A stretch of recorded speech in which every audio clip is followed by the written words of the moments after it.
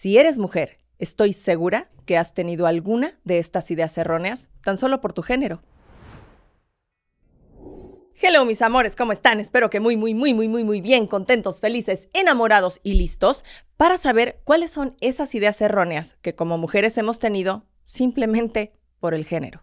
Pero bueno, antes de empezar, si eres nuevo o nueva en mi canal, te invito a que te suscribas para que no te pierdas ningún video nuevo. Te recuerdo que mi misión a través de este canal es ayudarte a convertirte en la mejor versión de ti, desde adentro hacia afuera. Así que suscríbete y prende las notificaciones para que te enteres cada vez que yo suba un video nuevo. Esto es lunes, miércoles y viernes a las 7 de la mañana, hora México.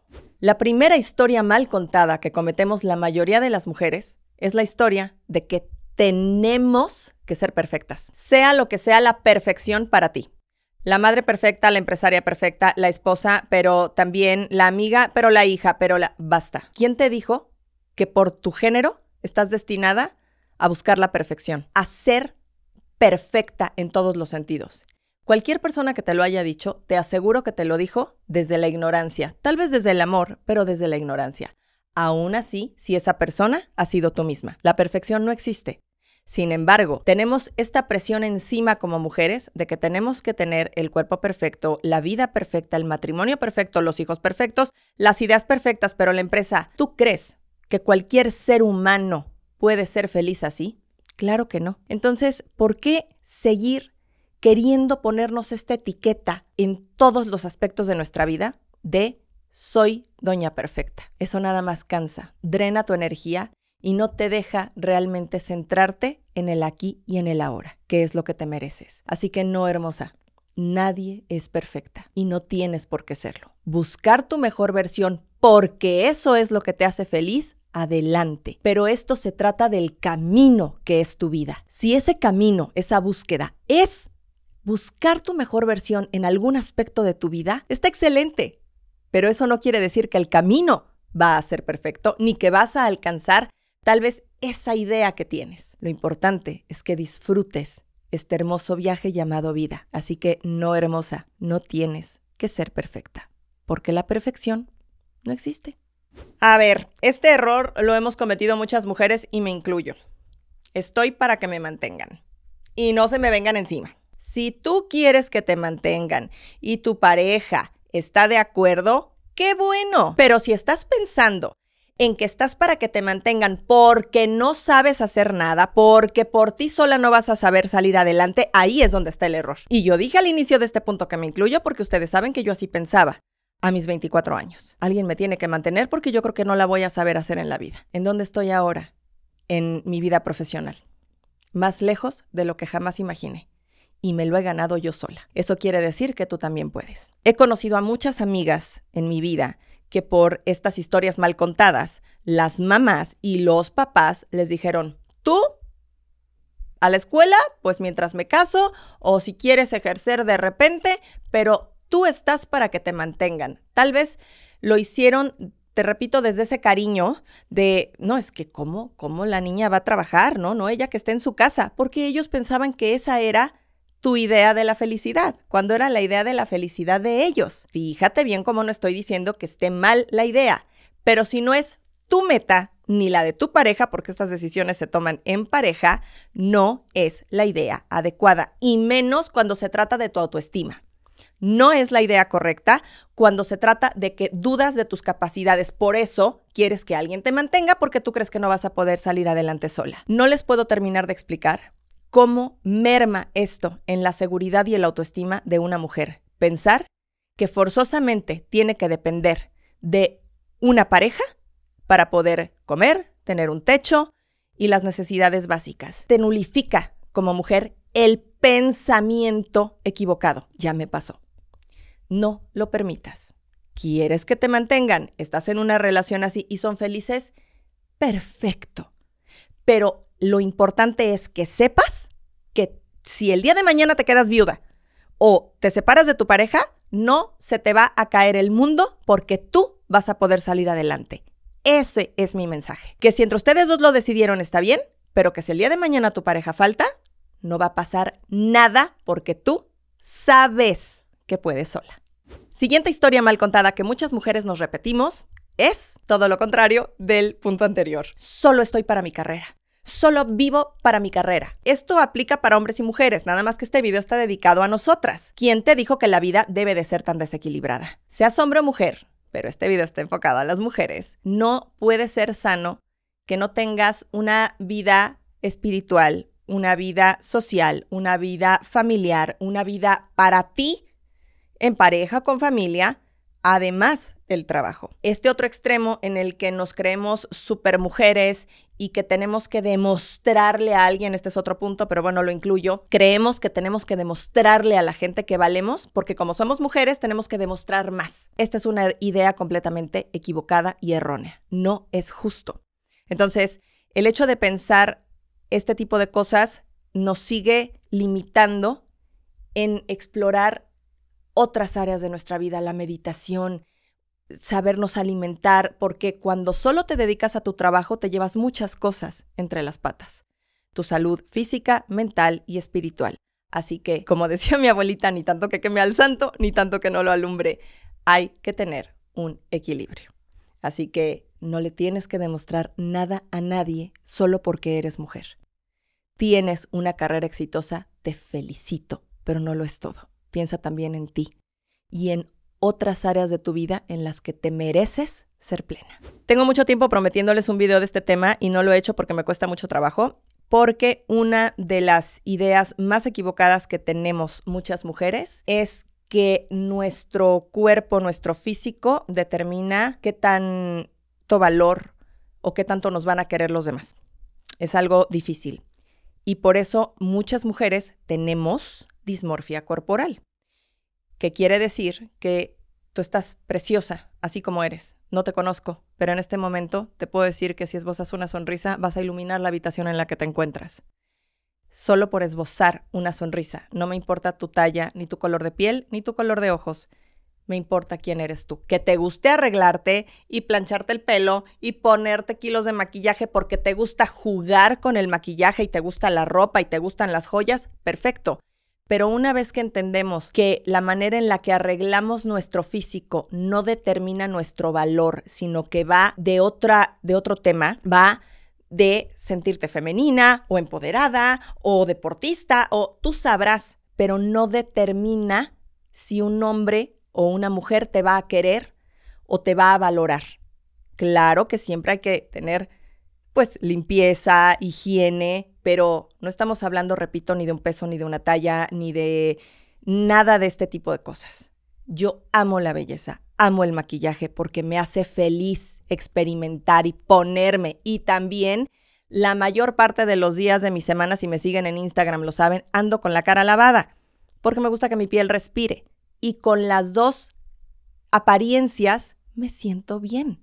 Con las dos porque sé que lo de adentro y mi valor como Paola Herrera no cambia. Ahora te lo pregunto a ti, ¿cómo te sientes cuando estás más arreglada y más desarreglada? No, no vales más de una manera o de otra, que te sientas más sensual, más ejecutiva, más... Claro, para eso es la moda, para eso es todo este tipo de, de, accesorios, pero no determinan tu valor. Así que, siguiente idea, totalmente equivocada que una mujer planta en su cerebro o que deja que otros le planten, es que tu apariencia determina tu valor como persona, no hermosa. Eso es totalmente falso. Tú eres hermosa así como eres. Que te quieras cuidar está excelente. Que quieras ejercitarte para estar más sana y más fuerte está perfecto. Pero tu físico y tu apariencia no determina lo valiosa que ya eres. Siguiente historia mal contada que muchas mujeres nos repetimos y sobre todo a partir o al punto de llegar a los 30 es para esta edad ya tendría que tener todo resuelto. Error. Yo tuve a mi hija a los 31 años y no fue hasta unos 3 o 4 años después cuando empecé a resolver mi vida entera. Así que la edad es solo un número. Yo cambié de carrera, cambié de mentalidad, cambié de hábitos, y se vale, la edad es un número, seas hombre o mujer. ya estuvo bueno de esos comentarios, de esos animalitos, porque no son otra cosa, que escriben, es que una mujer después de los 30 ya no sirve, es que una madre soltera es un foco rojo. Miren, no les hago la seña que debería de hacerles porque este es un video familiar, pero de verdad, esas personas son animalitos, ¿sí? sí, chicas, pero ya hoy en día cualquier persona tiene acceso a Internet y no podemos evitar que eh, saquen toda su diarrea verbal. Entonces, chicas, tranquilícense. Aquí estoy yo. Resolví mi vida entera sola después de los 30, porque a los 31 no tenía idea de cómo iba a sacar adelante sola a mi niña, porque el papá, como buen irresponsable, se largó. Y lo logré. ¿Y tuvo que ver mi edad? Creo que más que eso ayudó, porque ya tenía yo mucha más experiencia, ya tenía yo una carrera, ya había yo tenido muchísimos empleos en donde había aprendido mucho. Tómalo como experiencia y este enriquecer quién eres tú es un número. Deja de pensar que por tener 25, 30 o 50 tienes que tener todo resuelto en la vida. La vida es un hermoso viaje, te lo dije en el primer punto, y hay que disfrutarlo a los 10, a los 15 o a los 70. Creo que ya fui muy clara en un video anterior, de, se los dejo aquí, de cómo pasar de ser una mujer codependiente a una mujer magnética. Pero lo tengo que decir, una historia totalmente mal contada que muchas mujeres nos hemos repetido es que un hombre nos va a venir a ser felices. ¿Cómo por qué? También Pobre ser humano, ¿qué culpa tiene él si apenas está descubriendo cómo hacerse feliz él mismo y encima va a tener que ocuparse de que tú seas la mujer más feliz del mundo? Error. Yo sé que crecimos con estos cuentos de princesas, pero son eso, cuentos, no es la vida real. Ni un hombre, ni un bien material, ni nada que esté en el exterior es lo que te va a venir a dar felicidad. Es lo que tú haces y piensas contigo, lo que tú haces de quién eres tú, con pareja o sin pareja, con trabajo o sin trabajo, cómo estás tomando lo que te pasa. La vida no es lo que te pasa, sino lo que haces con lo que te pasa. Ahí está la felicidad, en la historia que te cuentas.